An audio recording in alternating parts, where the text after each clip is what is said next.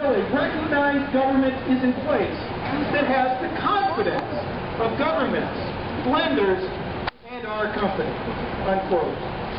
The United States government, which had previously funded the Afghan Mujahideen involving Osama bin Laden against the Soviet Union, was willing to do business along with U.S.-based energy corporations with the Taliban to get the pipeline built.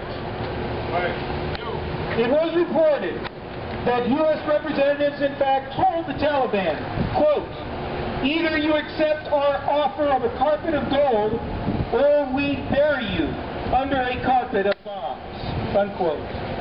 But the Taliban refused to accept U.S. conditions. The rationale of energy security became the reality of military conquest. We know what happened next.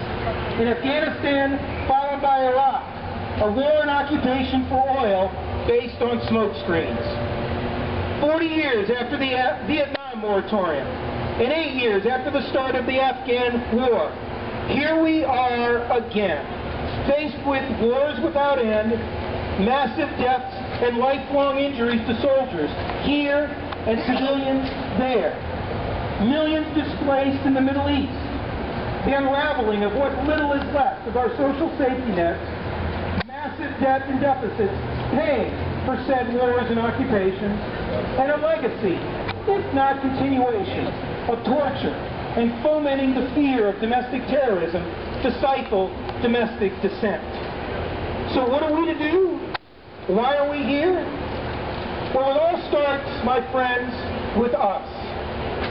Our major challenge certainly involves people out there the energy corporations, the media corporations, the politicians, to be sure.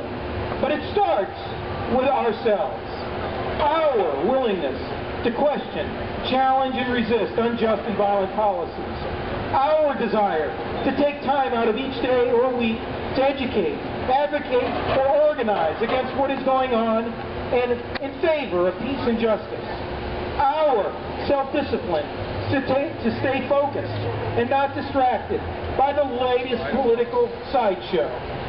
Our self-confidence to remain vocal and active in the face of a culture that reinforces the theme of letting experts like politicians and generals decide what's good for us. Our determination